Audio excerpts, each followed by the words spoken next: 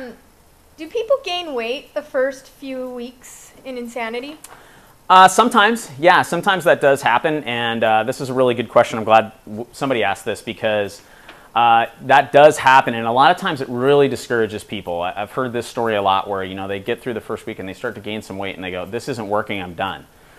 What is usually happening for those people is that your body's freaking out a little bit because you've just now subjected it to something that's new, probably, and super hard.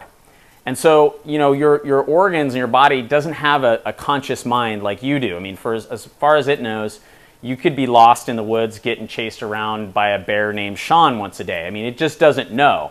And so when, when that happens, your body tries to protect itself. And one of the things it does is it retains, it retains extra water to protect itself.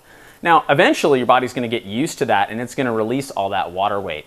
So, you know, I don't even really think it's a great idea to weigh yourself the first week of insanity. Just, you know what, stick with the plan. The plan works.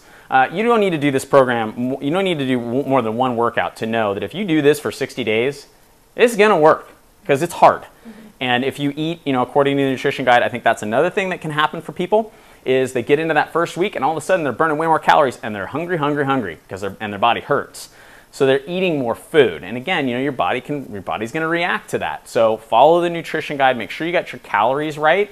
And then um, just don't freak out. If you gain a little bit of weight, just trust the program, keep going with it. Make sure you've got a coach uh, and somebody who can really guide you through this stuff.